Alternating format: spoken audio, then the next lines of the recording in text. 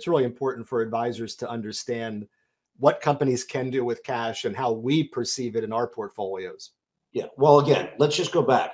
You know, um, history, the historical rate of return in equities over the long term cycle is somewhere between, let's call it eight and 10% with dividends reinvested over the cycles. Um, Two thirds of that are dividends and distributions reinvested, not capital gains. So if a company generates cash, they could basically do five things, in my opinion, with the cash. They could do nothing. And historically, those are the companies that have the worst relative performance. Um, they can do M&A, uh, which is great by other companies, by the businesses, but nine out of 10 times, there's no value added because cultures clash, products don't um, uh, mesh in terms of sales and distribution.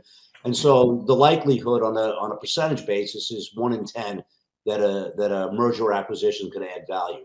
So then you get to, um, they could do nothing Okay, they could do they could do absolutely nothing with the cash, um, which is the worst thing to do. So if do nothing is the worst thing to do, uh, M and A doesn't give you a, a high probability.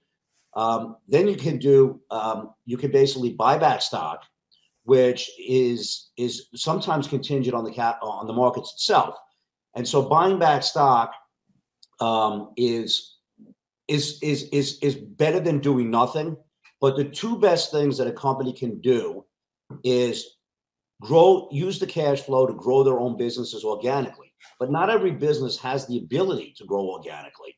So the history shows that companies that have a disciplined dividend and distribution, recycling to shareholders is the best use of long term capital, free cash flow, because that is the most certain thing you can.